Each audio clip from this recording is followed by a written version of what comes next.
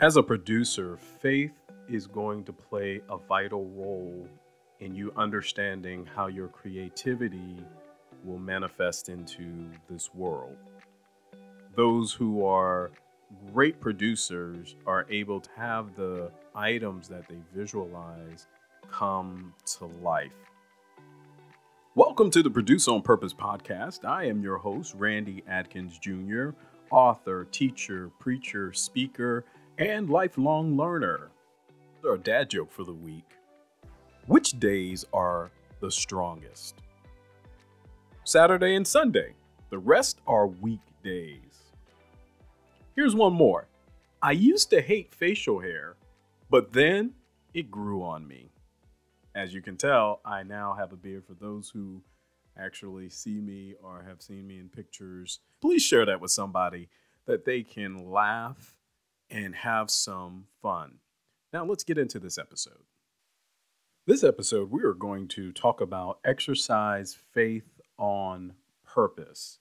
I'm going to start off with the scripture to describe exercising faith on purpose that scripture is going to be Hebrews 11 and 1. Faith is the confidence that what we hope for will actually happen. It gives us assurance about things we cannot see. As a producer, faith is going to play a vital role in you understanding how your creativity will manifest into this world. Those who are great producers are able to have the items that they visualize come to life. So, what is faith? Faith is a kite being your imagination, but the string that connects that kite to you is faith. Your faith will allow for you to connect to your imagination and your creativity which then you will be able to activate and exercise on a daily basis. Faith is where it's not only a religious word, faith is being used by everyone every day. And the question becomes are you using your faith on purpose, with intention, and also utilizing the gifts that you have? Or are you using your faith in a way that may not help you or provide a particular image of where you're going? We've discussed having a heavenly vision. We've discussed seeking direction in the times of a midnight hour. Now we are going to discuss exercising our faith based on who we are, based on what our Creator has made us to be. And so, faith, being that thing that you cannot see with your physical eye, but you can see with your spiritual eye. And so, let's talk about that. Faith is the substance of things hoped for and the evidence of things not seen. It becomes a substance of the things that you hope for in your creator. I want you to think of all of the things we talk about of having a better life. To have a better life means that I can wake up every morning with joy. I can make, wake up every morning with peace and love in my heart. And it can be consistent if I can have faith that that is what I am going to have every day. But you can also put your faith in other things. You can put your faith in those things that don't bring you joy. You can put your faith in other areas of your life that don't bring any joy at all. Just imagine when your mind goes into a place where you are thinking about the things that you cannot do, you are unable to move forward with, that's when you are not using your faith and exercising it on purpose, but it is being exercised every day. The point I want to make is that faith is not something that is elusive. Faith is readily available to everyone, no matter who they are, uh, regardless of their religious background, regardless of what they value or think about. The question becomes what are the results of your faith? The results of your faith could be things that really make your creator excited and happy, or are you choosing to exercise your faith for your desires and what you want out of life that may hurt other people, may not be the best for you, may make you not feel the best in your life? So let's talk about that in a greater way, in a greater context of using and exercising our faith. We all have problems, problems to be solved in our lives, whether they are problems because of illness in my body, physical ailments, uh, maybe physical uh, limitations that I may have. Uh, we may have big problems because of mental anguish or suffering or uh, areas of our lives that we feel we do not have the skills or the knowledge in. You may have also a big problem in your spiritual world. And I want to start off by saying we need to bring in faith our problems to our Creator.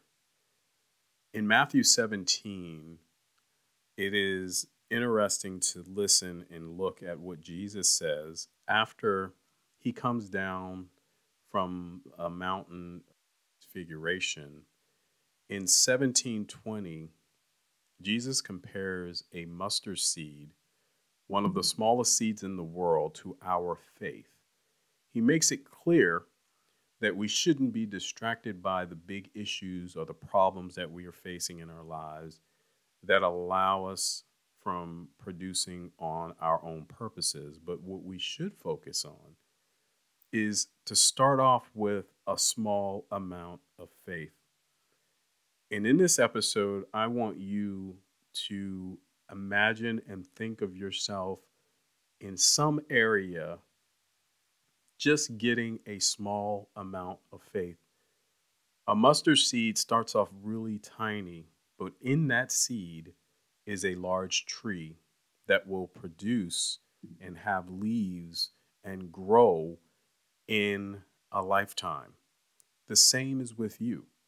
But we have to start with some small beliefs of faith that will help us.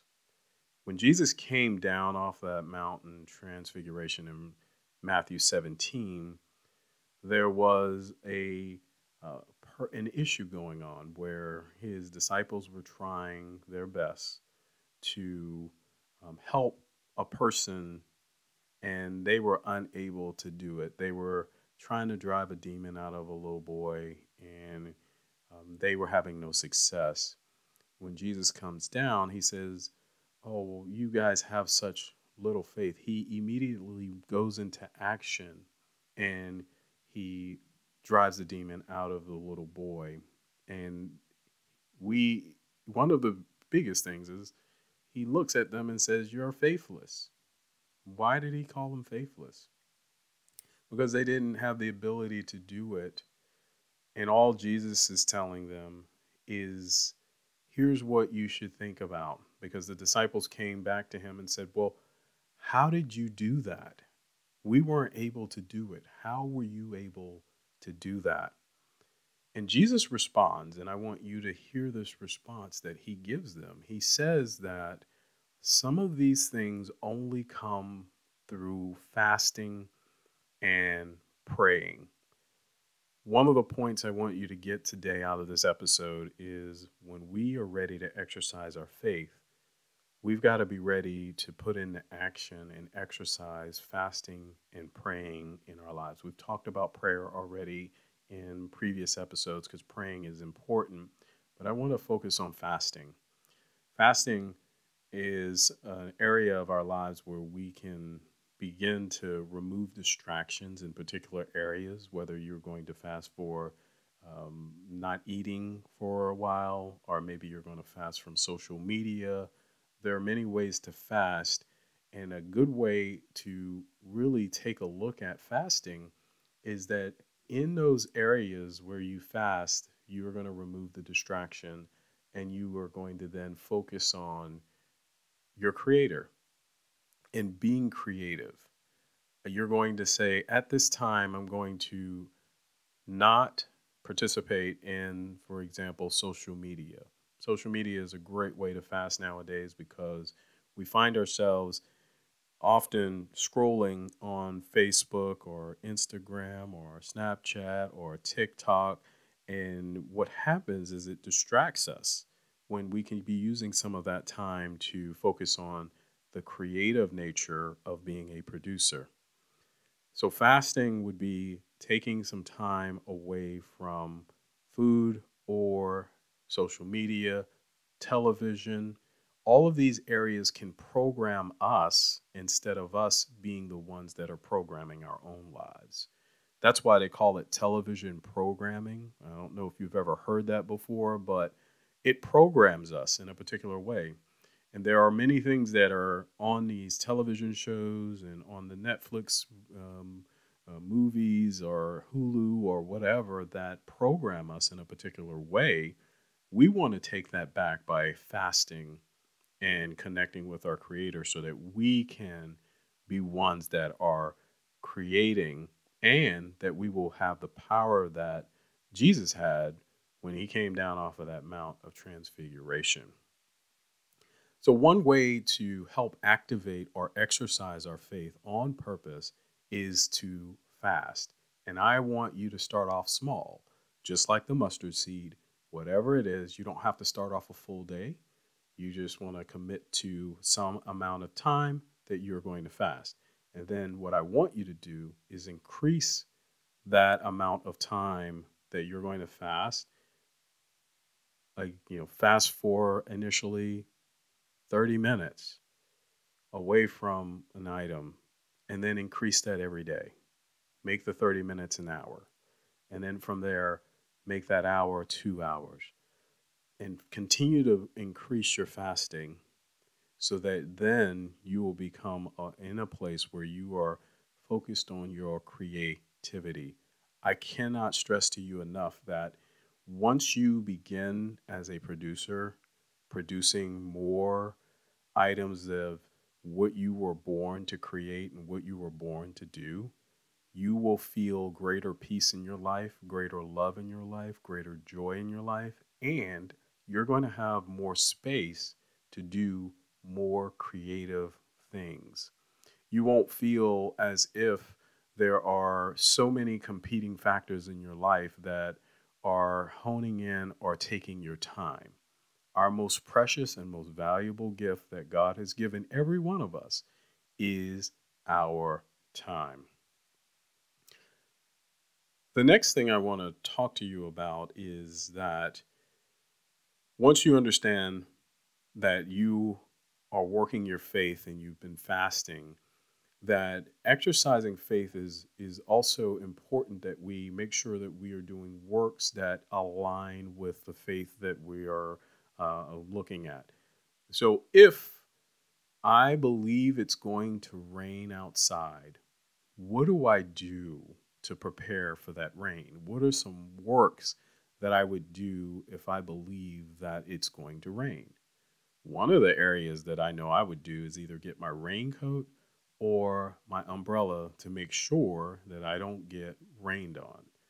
Um, this has happened many times where I used to go to school when I where I went to school. I used to have to walk many blocks to get to um, school in the college that I was at, and if I did not have my rain jacket and my umbrella and it was going to rain, I was going to get soaked. And I did get soaked a couple of times and had to go home and not even go to classes because I wasn't prepared for the rain. So if rain I'm expecting as a faith item that I would want in my life, then I'm going to prepare for it. And it's the same thing.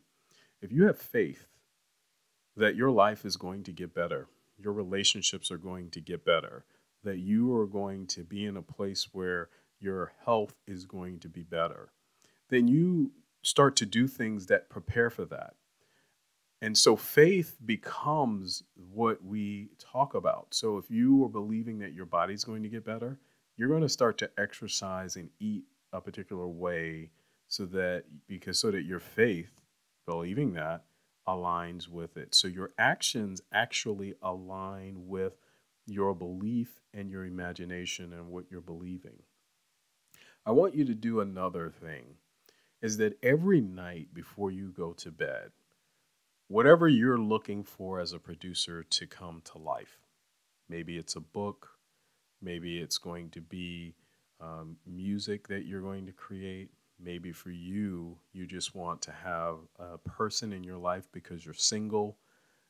There, whatever your item is, I want you to first imagine it and have faith in your creator to give you exactly what the vision is for you. You have to take time with this, but I want you to be able to really take a time to think about that because your faith with intention and purpose you will see manifested in this world. That's what Jesus was talking about when he said in Matthew 17 that when you have faith the size of a mustard seed, you can say to the mountain, Move from here to there, and it will move. Nothing would be impossible. Christ wants us to understand that we have the ability, and that's just about everything that happens in this world. I mentioned it on previous episodes, is that everything that is in this world, it comes from your imagination and your faith. And that's why our faith in God and our faith in our Creator becomes such a great asset for the producer if you want to realize something in this world, and it's important that you exercise this on a consistent basis and that it is not just a one time event and you're not just looking for a result, but that you are looking for a life that is changed and is different.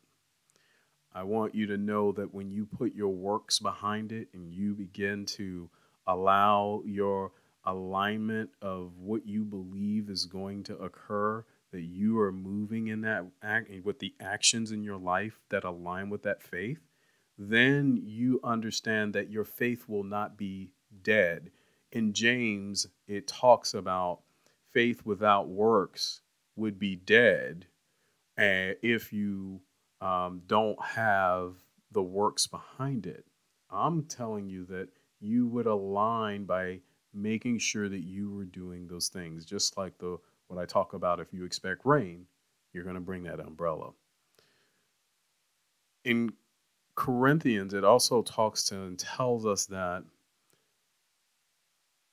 we walk by faith and not by sight, meaning that our everyday walk is by faith it is through that imagination, through your confidence in your creator, that these things that you cannot see are already real.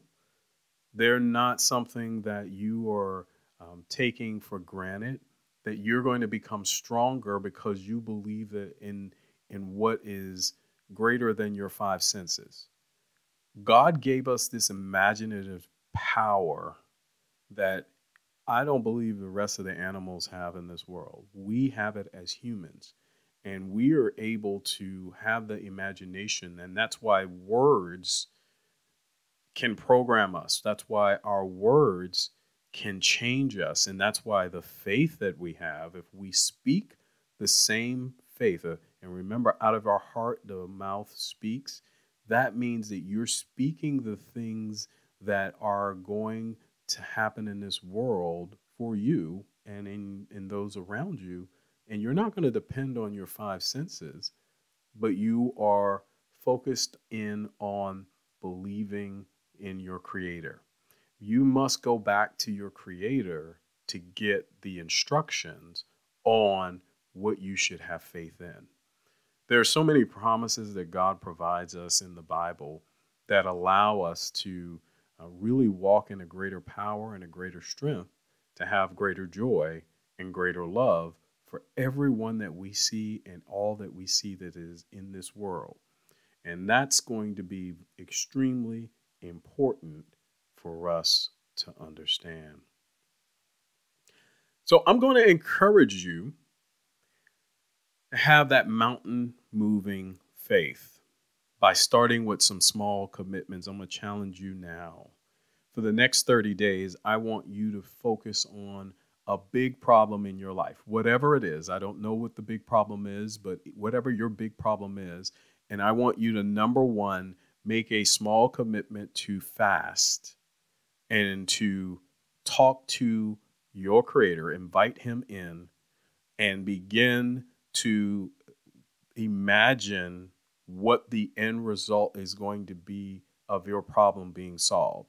How do you feel when this problem is completely solved? You're going to pray to God and you're going to meditate on this situation during uh, times of fasting, even during times that you're not. And I want you to then understand that the mountain that has been in front of you, the issue, the problem, that you will start to see solutions come into place. I want you to also take the time to commit to believing what Scripture says. I want you to go to um, what you know to be real. For example, understand that your Creator has plans for you. Jeremiah 29 and 11 tells us that that He has plans for us. He has plans for us to prosper. That He will not leave us nor forsake us, as He says in Deuteronomy 31 and 6. So He's with you every step of the way. I want you to commit to doing that every day for the next 30 days. And I believe that you'll continue to do this further than the 30 days, but you've got to make that initial commitment this to exercise your faith on purpose based on you. And, I, and maybe you also want to see a growth in the gifting that you have. Um, I love the gifting uh, that I have for teaching, speaking. Uh, I can take typically take something that is um, very hard to explain and you know make it in a place that is explainable. Something that um, I love to do and enjoy to do. Maybe you want to see a growth in your gifting. This is the time, and I want you to take the time and I want you to apply that so that you can exercise your faith on purpose and continue to pray. And the last thing I want you to do, and we've been doing this every episode, and I want you to continue to keep your journal, that you're going to write down the differences as you begin to see happen in your life, whether it's through the problems, through a greater gifting of you, that you're able to produce more of what your Creator has wanted you to produce.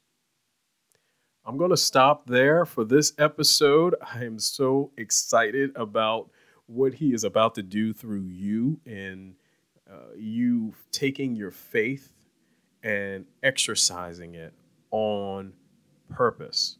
Every day for the next 30 days, I challenge you to go fast, pray, bring in and take away anything that is not um, that's not, that's distracting you, and write it down.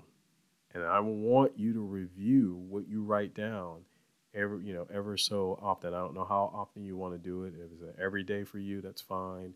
Or every week, I want you to review what has occurred, and you will see that your great works have moved you into a place that allows you to begin to produce even more on purpose. That concludes this episode of Produce on Purpose Exercise Faith on Purpose. Next week, we are going into another great episode. This episode that we are going to move into is use influence to get results. I can't wait to see you next week on our next episode. I want you to do me a favor. I want you to subscribe to this podcast on whatever platform that you're on. Subscribe and also leave a review. That's going to help provide feedback to make this podcast better and that it can be something that is useful for many others. You can reach me at www.randyadkinsjr.com. Provide me feedback of what you like about this episode, what you like about the podcast, and we'll continue to make it better. And I will see you on the next episode.